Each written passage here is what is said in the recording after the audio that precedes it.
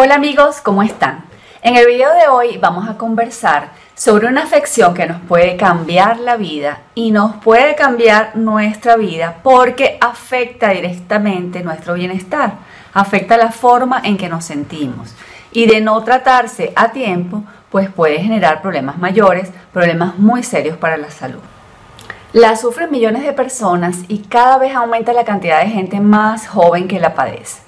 Es importante saber que esta afección debe tratarse con rapidez para que no se produzcan mayores estragos en nuestro organismo. Si no se trata con rapidez, puede dificultar la vida del paciente y cambiar por completo su estilo de vida. La gastritis, ¿qué es? ¿Cuáles son los síntomas? ¿Qué pueden indicar que está sufriendo de algún tipo de gastritis y cuál es su tratamiento? Bienvenidos a mi canal Ana Contigo. Si aún no te has suscrito, te invito a que lo hagas en este momento. En los videos anteriores hemos estado conversando acerca del colon irritable y de cómo saber si algo le pasa a tu intestino. Y menciono esto porque hay dos factores que vuelven a ser comunes. Son ambas afecciones de nuestro sistema digestivo y dan origen a una serie de síntomas, algunos de los cuales son comunes. Por esto es que lo más indicado, la forma para determinar si realmente estás padeciéndola, es a través de la realización de una endoscopia que el médico especialista te indicará si lo considera necesario para determinar además qué tipo de gastritis puedes estar sufriendo e indicarte el tratamiento más adecuado. Pero, ¿qué es la gastritis? La gastritis es una inflamación de las paredes internas del estómago. Este órgano tiene una mucosa que recubre todo su interior. Está recubierto por una especie de moco que no permite que el ácido que segrega el estómago dañe sus paredes. Es una protección natural que sirve para que cuando los jugos gástricos empiecen el proceso de la digestión, la acidez de dichos jugos no afecte el estómago, protegiéndolo. Pero se puede producir una gastritis si se segrega más ácido de lo que se necesita o porque se daña la mucosa protectora y en consecuencia se puedan producir heridas por diversas razones. La gastritis ataca a esta mucosa gástrica inflamándola, irritándola y en ocasiones hasta la elimina, por lo que puede llegar a causar úlceras estomacales o incluso cáncer en su etapa final. Gastritis. ¿Qué significa gastritis? Gastritis significa inflamación del estómago y puede ser muy dolorosa. En una clasificación muy general, podemos decir que la gastritis puede ser leve o grave o aguda o crónica. Pero ¿qué causa la gastritis?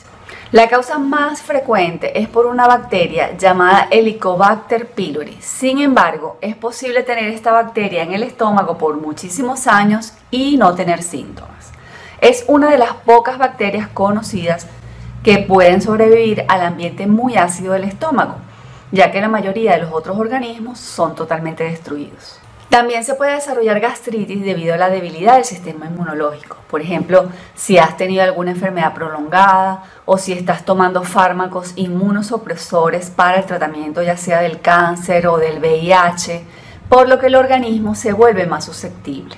El consumo excesivo de alcohol o el, uso, o el uso continuo de medicamentos antiinflamatorios como el ibuprofeno o la aspirina, ácido acetil salicílico, también pueden ser responsables de esta condición. El consumo constante de fármacos como el omeprazol, lansoprazol, pantoprazol, que son fármacos sintéticos que actúan con la finalidad de bloquear o de inhibir la producción del ácido clorhídrico, dejan al estómago indefenso, ya que este ácido producido por las células parietales en la mucosa del estómago es un medio natural del cuerpo para defendernos de las bacterias, de los virus, de los parásitos y de hongos que vienen con la alimentación, que traen los alimentos. Y estos fármacos bloquean esa barrera natural fisiológica. Al suspender el consumo de estos fármacos sintéticos, se observa que el estómago comienza nuevamente a producir su ácido natural. La comida, si no se mezcla con este ácido, no se va a producir el efecto antiparasitario, antihongo y antibacterial del que estamos hablando. Además, la comida se va a fermentar rápidamente y puede ocurrir la putrefacción porque, además de que se descompone más fácilmente, se queda más tiempo estacionada en el estómago. También se produce el bloqueo de la producción de otras de las sustancias que producen las células parietales del estómago que se llama factor intrínseco. Este factor intrínseco ayuda a absorber la vitamina B12. Cuando no hay esta vitamina podemos llegar a sufrir de anemia que puede terminar inclusive en una anemia perniciosa en donde existe una gran disminución de la producción de los glóbulos rojos. Otro factor es el abuso de las comidas copiosas, muy procesadas, muy picantes. El abuso también de bebidas como el alcohol, el abuso del tabaco, bebidas irritantes como el café, el estrés continuado que vamos acumulando debido a las tensiones del trabajo, de la casa, de nuestra rutina del día a día que cada vez es más acelerada, o por ejemplo si estás pasando por un duelo, alguna preocupación que está sostenida en el tiempo, todo esto puede ocasionar que nuestro cuerpo se resienta y esto incluye al estómago. Entonces, ¿cuáles son los síntomas que nos pueden indicar que estamos sufriendo de algún tipo de gastritis? Generalmente creemos que tenemos gastritis cuando sentimos un malestar en el estómago o con un dolor muy fuerte en la boca del estómago. También se suele asociar cuando sentimos mucha acidez, una acidez fuerte estomacal, cuando sufrimos náuseas y sensación de que siempre estamos llenos. El problema es que estos mismos síntomas son comunes a otras afecciones que no son gastritis. La única forma de saber si sufres de gastritis o no, como ya lo dijimos, entonces es mediante un estudio médico que se llama endoscopio. Es aconsejable que comentes todos los síntomas que presentas con un especialista para que sea él quien se encargue de realizar un buen diagnóstico y por lo tanto pues te pueda indicar el tratamiento más idóneo. Los síntomas más comunes son acidez, reflujo, sensación de llenura cuando comes, gases, flatulencias, puedes tener náuseas y vómitos, dolor en la boca del estómago, distensión, inflamación abdominal, sensación de ardor o quemazón que normalmente está localizado en la boca del estómago y en otros casos inclusive pueden aparecer fiebres o diarreas. También puedes padecer de poca energía debido a que los nutrientes no son absorbidos con la eficacia que deberían. En el caso de la vitamina B12 que ya comentamos y que además pueden producir anemia porque esta vitamina ayuda a la absorción también de otro tipo de minerales como el caso del hierro y el magnesio. Estos minerales se encargan de muchas funciones importantes en el organismo y por supuesto al escasear, entonces estas funciones no se llevan a cabo no se realizan adecuadamente y se produce el cansancio general. La medicina convencional puede indicarte antiácidos para bajar la acidez del estómago, antibióticos para luchar contra la infección si la tienes, pero lo que ocurre es que el consumo continuado de estos fármacos al inhibir o bloquear la producción del ácido clorhídrico dejan al estómago indefenso, como ya lo explicamos al inicio de esta conversación. Y entonces se produce un círculo vicioso por eso nos encontramos personas que eternamente se ven en la necesidad de consumirlos sin solucionar el problema de base. En muchos casos la medicina convencional se limita a la indicación de fármacos que alivian los síntomas y que reducen o bloquean la acidez del estómago para tratar de que los ácidos no sigan causando estragos o bien recetan antibióticos para eliminar la bacteria, que finalmente lo que puede hacer en el tiempo es dañar nuestra flora bacteriana, creando el círculo vicioso que comentamos y además problemas adicionales. Por esto, y aunque estos fármacos pueden ser valiosos en el tratamiento en un momento determinado, es recomendable que protejamos y que reforcemos a nuestro sistema a través de una alimentación que nos vaya sanando esas paredes del estómago y que le permitan ir normalizando su producción de ácido. Es natural que lo que comemos puede jugar un papel importante ya sea en suavizar o en agravar la gastritis. En términos generales, las recomendaciones son Establece y respeta al máximo tus horarios de comida, consume mucha agua durante el día e infusiones como la manzanilla y el jengibre que desinflaman y alivian. Come lentamente y mastica muy bien tu comida por completo. Esto va a facilitar la digestión. Siempre come un poco menos inclusive de lo que quieres. Esto va a ayudar a mantener un estómago ligero es decir, evita todo tipo de comidas copiosas y trata de cenar siempre hasta 3 y 4 horas antes de acostarte. Procura que sea entre las 6 y las 7 de la tarde. porque luego de esas horas el cuerpo se ralentiza, ralentiza todas sus funciones digestivas y puede dificultarse entonces por ende la digestión.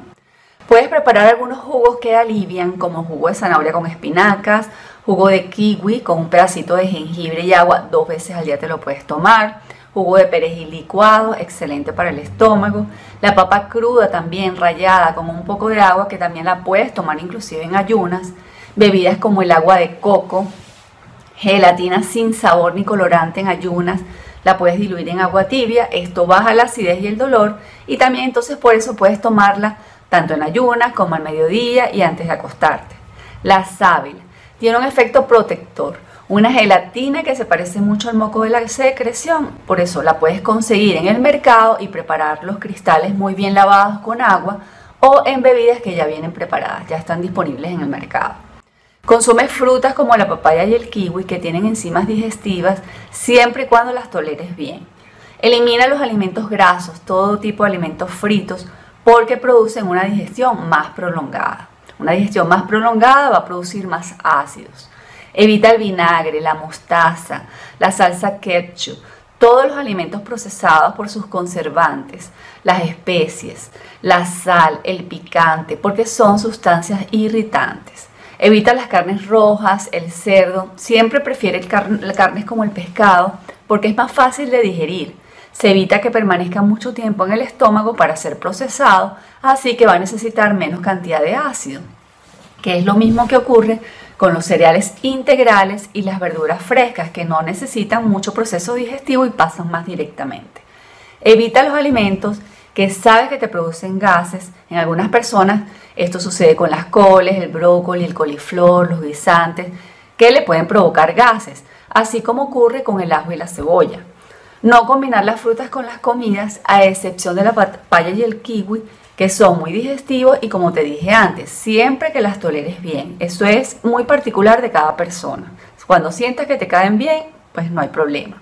Evita los alimentos y las bebidas que contienen cafeína como el café, el cacao, las gaseosas. Evita o elimina los lácteos, sobre todo enteros. Además de la grasa, la leche contiene lactosa, que la mayoría de las personas no la digieren. Evita los quesos con alto contenido de grasas, porque prolongan también la digestión. Evita el alcohol y el tabaco y controla el estrés. Haz ejercicio, realiza actividades que te distraigan, que te produzcan placer. Así que cero rabietas porque además esto produce más ácidos. El limón es maravilloso. Ya explicamos en un video anterior que, que aunque el limón es ácido por fuera, afuera del organismo, ¿verdad? Dentro es alcalino y puede ser muy efectivo para mejorar las digestiones junto con el bicarbonato de sodio, ya que es una sal alcalina que ayuda a evitar agrieras, reflujo, acidez, gases, flatulencias, ardor. En fin, es una de las mejores maneras de evitar el uso de antiácidos y de bloqueadores de acidez a largo plazo. Lo puedes preparar, limón, bicarbonato con un poquito de agua, te lo puedes tomar después de las comidas perfectamente. Estos remedios caseros para la gastritis son muy efectivos y pueden ayudar a mejorar el malestar estomacal y el dolor. Por ese motivo es recomendable que elijas el que más te convenga, el que te parezca mejor y vayas probando para ver cuál va siendo el más adecuado para ti. Tener una condición de gastritis significa que tendrás que realizar algunos sacrificios, ya sea limitando algunos alimentos que pudieran ser tus favoritos, pero que no te están ayudando, y puede ser que tengas que consumir algunos que no te gusten mucho, pero que sí te pueden ayudar. Lo más importante es que te sientas bien y que sanes, que estés saludable. Espero que estos consejos te sirvan de ayuda en el tratamiento de la gastritis. Por favor, no olvides compartirlos con otras personas, ya que son muchos las que sufren de gastritis. Y dale like al video si te gustó. En definitiva, debemos siempre cuidar nuestro templo, cuidemos nuestro cuerpo. Ha sido un placer. Nos vemos en el próximo video. Chao.